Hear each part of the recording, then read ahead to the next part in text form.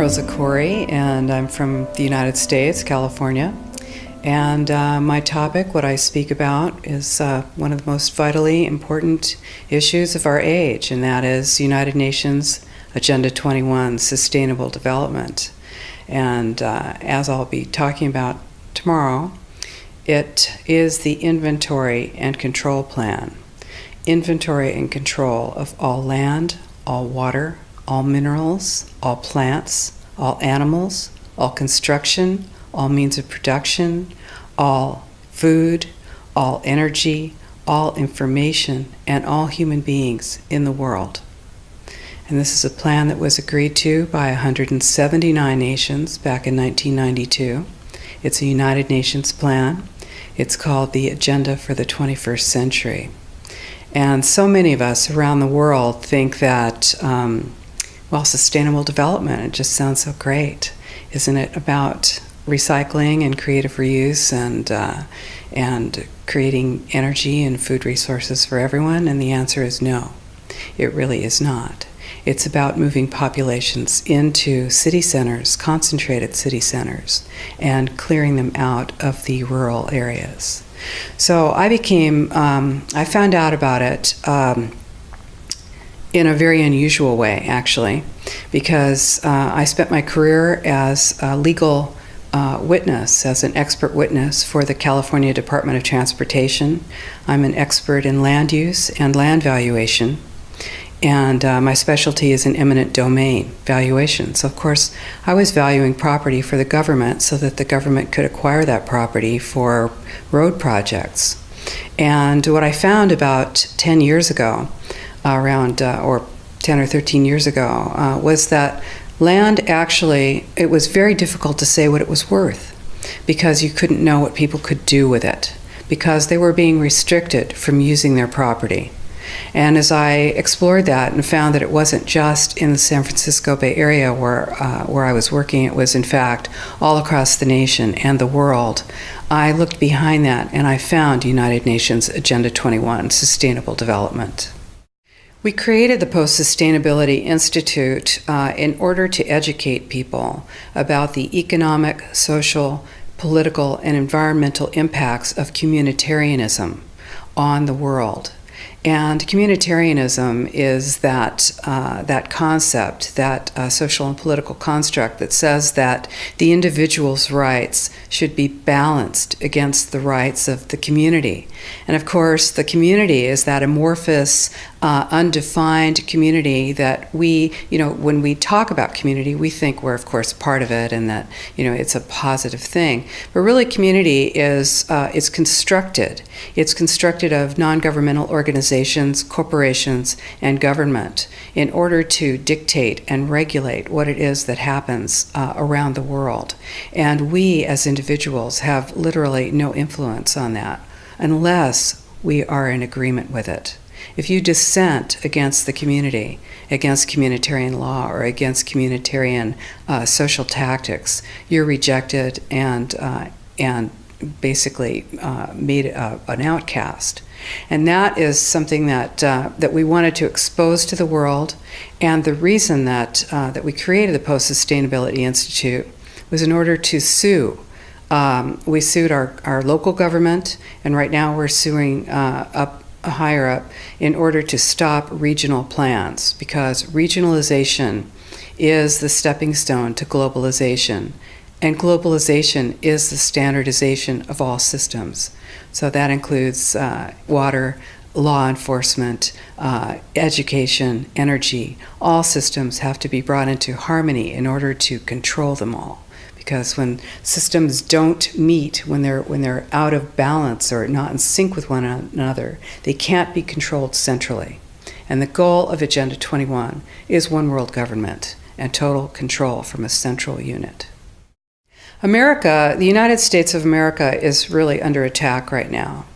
We uh, in the United States are, uh, well, the U.S. landmass is about two and a half times the size of Europe and has uh, roughly half the population, uh, just over half. That landmass is huge, and about 75% of the population lives in large cities. The goal is to move everyone out of the, uh, the rural areas and into the large cities, and to destroy representative government and uh, to move it into um, to a more uh, to government by unelected boards and commissions. Now, here in the EU, of course, you have, you know, you've already moved to that position where uh, it's an erasure of jurisdictional boundaries, an erasure of uh, national boundaries. And that is the goal because, as Zbigniew Brzezinski said in 1995, um, you can't just impose globalization uh, pell mell uh, as a total uh, movement. You have to do it incrementally, and the way to do that is through regionalization. And in Denmark, um, for instance, in Denmark, well, every nation that signed on to Agenda 21 has its, uh, its local Agenda 21 plan. People in the United States are completely unaware of this. If I go out and talk about this, the United States press will attacks me and calls me a conspiracy theorist, which is is totally ridiculous. It is a conspiracy, but it's not a theory. It's a fact. Uh, here in Europe, um, it's openly spoken about, lo- local Agenda 21. And of course, here in Denmark, uh, the Aalborg uh, principles, uh, 2000, excuse me, 1994, and then Aalborg plus 10, 2004, uh, was the uh, European Roundtable for uh, Local Agenda 21 was held here. And the principles are public-private partnerships, which is fascism.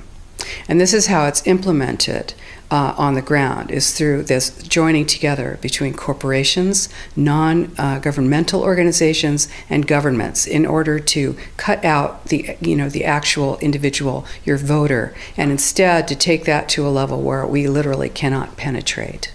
And this is the goal. So this is already far progressed in Europe. The three pillars of United Nations Agenda 21 are economy, ecology, and equity, the three E's, the so social equity. And everyone sort of thinks that they know what that means the idea of social equity. It must mean that, well, everyone's going to have access to clean water and clean air, and uh, no one's uh, property is going to be used as a dumping ground because they are at a poverty level. But really, what social equity is about is about impoverishing huge portions of the population and bringing down uh, develop, the developed nations. And while this sounds like, you know, it, it sounds almost like a, um, uh, in the United States, you'd call that a right wing point of view, a conservative right wing point of view. I personally am a liberal.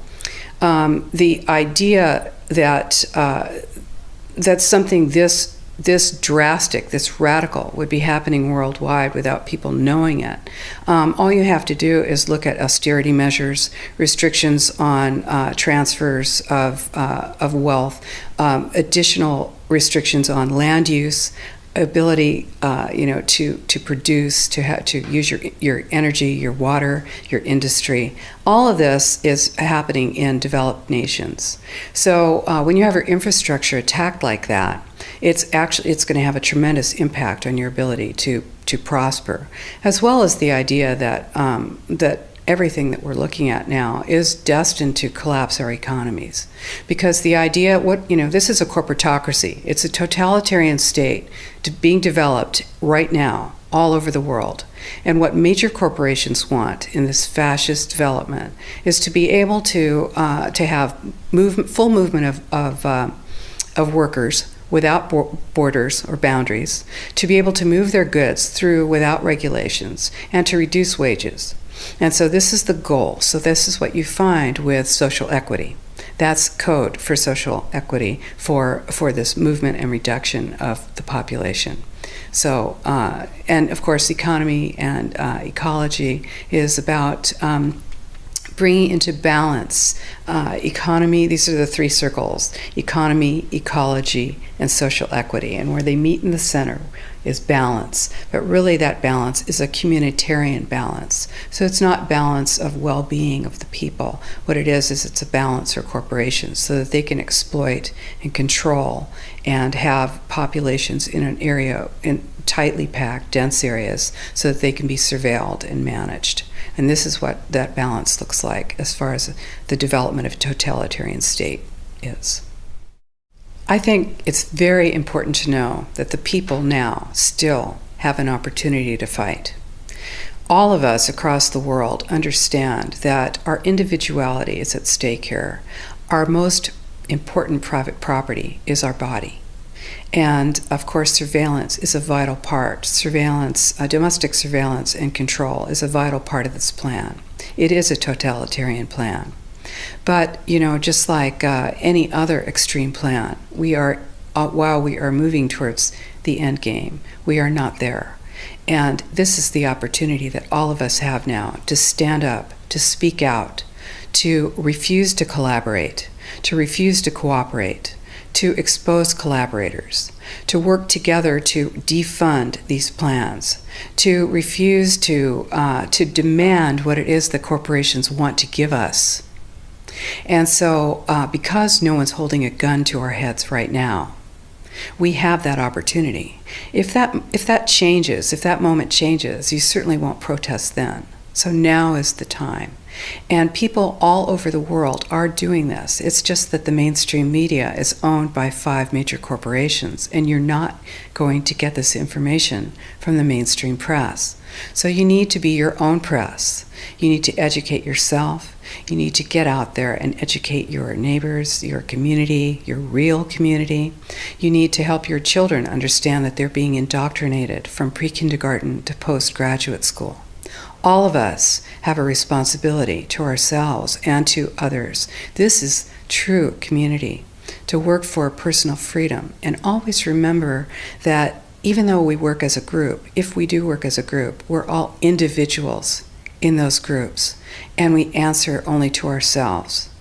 And this is essential. It's essential as, as, as free human beings. This is what we are. We are free, and we need to continue to be free. And I do believe that we will win, but we have to become aware that there is a fight and then make our friends and our neighbors and our community aware as well and work together. Right now in the United States, uh, we are moving into uh, major, massive regionalization. The United States has 50 states, and it's divided into cities, counties, and states, and then the federal government. Instead, Agenda 21 is top down, it's global, regional, neighborhood, and none of those positions is elected. So, in the United States right now, where uh, the development of regionalization is happening very quickly, it's happening with federal funding. There are hundreds of millions of dollars going to local governments in order to have them create regional plans. And what those do is they, this plan cannot be accomplished without control of land and land use, because, of course, where you live often dictates the kind of life you're going to have. So, regionalization takes away our opportunity to have an impact, it takes away representative government. So, what we are doing at the Post Sustainability Institute right now is we are suing to stop the biggest regional plan in the United States, and it is a blueprint for the rest of the country. What this plan is doing is essentially saying that no new development will happen anywhere but in 4% of the San Francisco Bay Area, that all 101 cities and 9 counties will be joined together, and all land use decisions will be made basically by an unelected board. What this will do to land use and land value in the San Francisco Bay Area, to movements of people, to development of business, to freedom, is unfathomable and people are not aware of it. The only thing that is standing between that and full passage is our lawsuit. Now, um, what this truly means is if you tell people that they have to build only smart growth, high density development in an urban center right on a train line, or the train doesn't have to be there, it's the proposed idea of a train line. And then no development, no buildings, no residential, no commercial can happen outside of that very, very concentrated area. Then what do you have? You have a concentration camp of the future this is exactly what it looks like. And you see, it's very much more subtle and much more sophisticated than it was when the Nazis were doing it. You are not going to get thrown on a train car. You will just have your, uh, your roads out in the rural areas pulverized and turned to gravel. You'll have your family well monitored You will have your energy restricted. You will have your uh, your your school service cut. Your uh, your sheriff service cut. You will find that you are not able to get your goods to market, and then you have to move into the city, and then you will move into this high density development that is subsidized with our property tax dollars, and pretty soon you will have the Wildlands Project which is predicated on moving people out of the rural areas. And this is how it happens. So, um, you know, people say, well, hey, nobody's getting me off my land. Well, it's very easy. You know, no one's going to come to your door with a gun, but they will move you off your land and you will be in the cities. And those cities will be full capability of surveillance, monitoring, and control. These buildings, these high density buildings, are being built with a concept of eyes on the street you become basically a deputized police adjunct. Your job is to watch the street. Your job is to watch your neighbor. The, the war on terror is a war on you. And we all know this. We feel it. This is why we need to stop it. So this is our plan is to use the courts at this point and stop this plan and we're working on it.